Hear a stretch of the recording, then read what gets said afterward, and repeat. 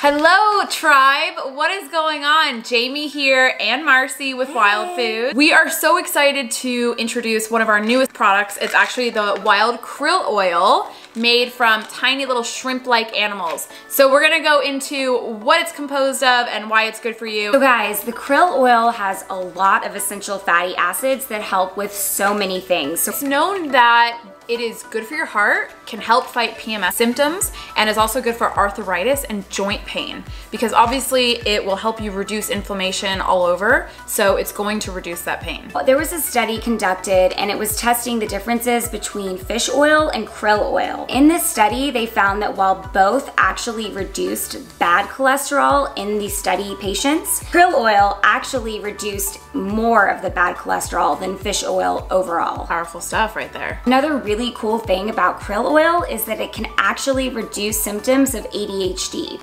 In another study, they found that patients who took krill oil reduced all of their ADHD symptoms more so than any sort of behavior therapy or medicine that they were actually taking. I really believe that because first of all, the toxic medications that we are being fed are obviously gonna have severe side effects because they're drugs and they're made in a lab. Natural substances like krill oil are obviously ideal versus chemically made, laboratory made pills. Hmm. and I know like, for instance, I haven't been diagnosed with ADHD, but you better believe I have ADHD. I'm sure all of you guys have already noticed that by now. so I need to get on this krill oil and just add it into my daily routine. A separate study actually found that the specific type of omega-3 in krill oil, which is DHA, actually improved literacy in patients with ADHD. So lots of good stuff there and it's really, like we said, it's all because of the omega-3s. Omega-3s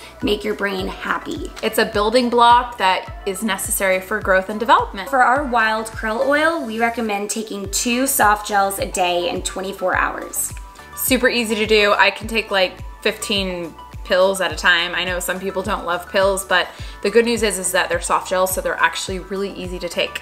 And that way, if you forget to eat fish or something, or you don't have enough omega-3s in your diet, you can just take it in a pill, easy, you're done with. Generally speaking, I don't think people get their essential omega-3s daily because they're not eating enough fish. So that's just another reason why you gotta take it, guys. Hope you guys enjoyed that little informative piece about krill oil. We believe that it's just super crucial and it should be added to your routine. If you like this video, make sure to like, subscribe, and share. We'll see you next time. Go wild on the subscribe button, guys. That's right. Go wild. Bye.